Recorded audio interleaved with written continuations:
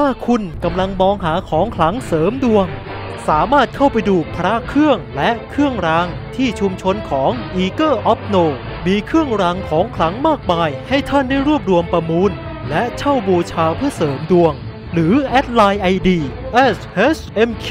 0599t อย่าลืมไปร่วมสนุกกันนะครับ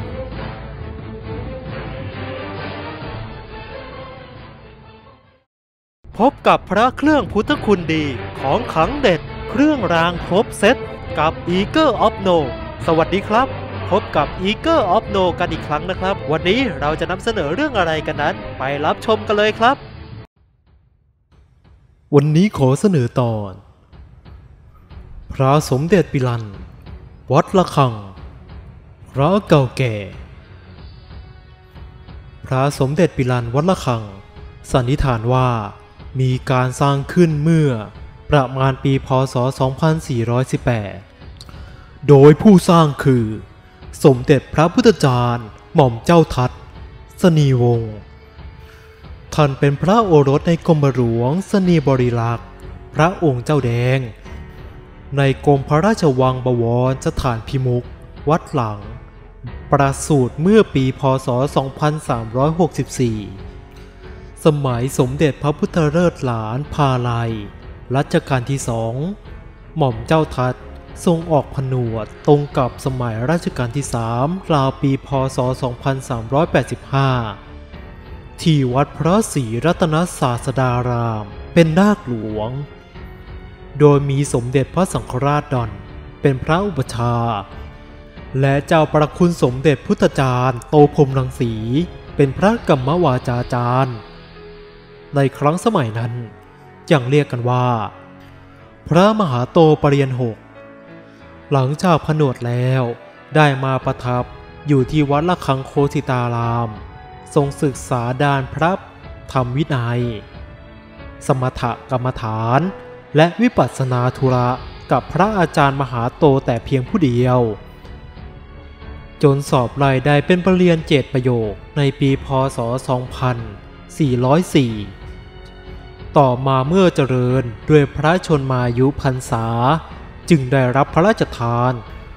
สมณศักดิ์เป็นพระราชาคณาที่ พระพุทธบาทปิลัน ในรัชสมัยรัชกาลที่4ราวปีพศ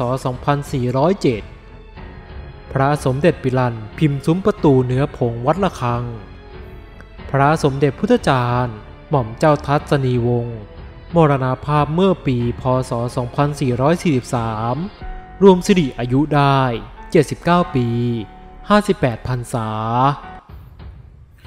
การเรียกชื่อพระปิลันนำนาชื่อพระสมเด็จ ก็เพราะว่า ผู้สร้างมียศศักดิ์สูงถึงชั้นสมเด็จ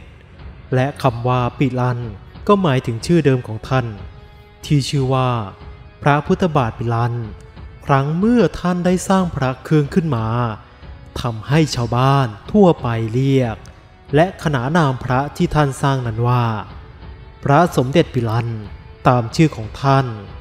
และเรียกกันเรื่อยๆมาจนถึงทุกวันนี้ ซึ่งที่จริงแล้ว พระพุทธบาทปิลัน ท่านก็เป็นสิทธิเอกองค์หนึ่งของสมเด็จพุทธาจารย์โตพรมรังสีเช่นกันครับ พระสมเด็จปิลันมีการสร้างไว้มากมายหลายพิมพ์ทรง สีของเนื้อพระจะออกสีเขียวอมดำอมเทา หรือเนื้อผง สีออกขาวเหลืองก็มีครับ มีทั้งที่บรรจุกลุและไม่ลงกุองค์พระที่ลงกลุส่วนใหญ่ จะมีคราบใครปกคลุมอยู่ทั่วองค์พระ จับอยู่เป็นชั้นๆ บางจุดก็มีไข่เกาะหนาเป็นก้อนนูนเด่น ลักษณะแข็งและมัน เหนียวเหนอะคล้ายกับไข่วัว ดูแล้วมีเสน่ห์ เข้มแข็งน่าใช้ส่วนพระสมเด็จปิลานเนื้อผงสีขาว มาแต่กลุขึ้นภายหลัง ที่กลุเจดีในวัดละคังเช่นกัน เมื่อปีพศ 2471 และพบอีกหลาย ๆ ครั้งต่อมา ทั้งที่วัดละคังเองและที่กู่วัดอื่นๆในบริเวณใกล้เคียงกับวัดละคัง ซึ่งสมเด็จปิลานเนื้อขาวนั้น จะพบคราบไข่เกาะองค์พระน้อยกว่ามาก กับพระสมเด็จปิลานที่เป็นสีอื่นๆ พระสมเด็จปิลันพิมพ์ครอบแก้วใหญ่ เนื้อผงวัดระฆัง คาบไขวัวขึ้นเกาะติดชัดเจน พระสมเด็จปิลันพิมพ์เปลวเพลิงใหญ่เนื้อผงวัดระฆัง พระสมเด็จปิลันเท่าที่พบมีด้วยกันประมาณ 20 พิมพ์ มีลักษณะแบ่งเป็นสองแบบก็คือ แบบที่มีรูปทรงสี่เหลี่ยม และรูปทรงที่มีลักษณะโครงคล้ายพระซุ้มกอกำแพงเพชร พระสมเด็จปิลันได้รับความนิยมด้วยกันทุกแบบทุกพิมพ์ทรง มาโดยกันช้านาน แต่พิมพ์ที่ได้รับความนิยมสูงสุดก็คือพิมพ์ซุ้มประตู จริงพระองค์ไหนเป็นพิมพ์ลึก และมีทองปิดเดิมมาจากกรุด้วยแล้ว ราคาก็จะยิ่งเป็นทวีคูณ ในปัจจุบันพระสมเด็จปิลัน ถือว่า เป็นพระเนื้อผง ยอดนิยมที่หาชมองค์จริงแท้สภาพเดิมที่สวยสมบูรณ์นั้นได้ค่อนข้างยาก บางพิมพ์แทบจะไม่เคยเห็นมีเข้ามาวนเวียนอยู่ในตลาดพระเลย พระสมเด็จปิลันทุกพิมพ์ทรงได้ทำการเรียนแบบทำของเก๋มากมาย หลายฝีมือมาช้านานแล้ว เพราะว่าเป็นพระเล่นง่ายขายก็คล่อง เป็นที่ต้องการของตลาดพระเครื่องมาก เป็นพระเครื่องประเภทหนึ่งเลยครับ ที่มีจำนวนน้อย ที่ครองใจคาความนิยมของนักสะสมพระเครื่องในตลาดพระได้อย่างยาวนาน พระสมเด็จปิลันนอกจากจะได้รับความนิยมสูงสุดแล้ว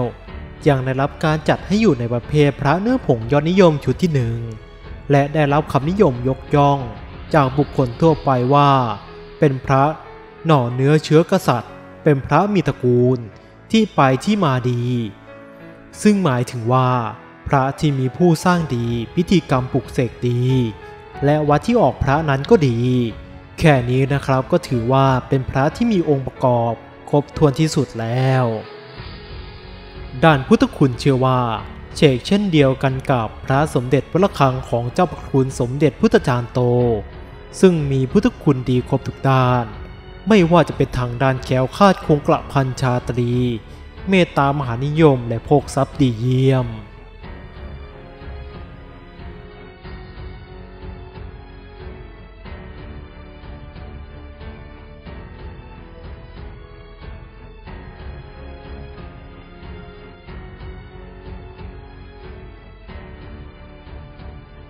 ก็จบไปแล้วนะครับสำหรับการนำเสนอในวันนี้ ในครั้งต่อไป Eager of Note จะนำเสนอเรื่องอะไรกันนั้น โปรดติดตามแล้วชมกันด้วยนะครับ ถ้าชอบคลิปนี้ยังไงฝากกดไลค์ กดแชร์ กด Subscribe และที่สำคัญอย่าลืมกดกระดิ่งสำหรับวันนี้ สวัสดีครับ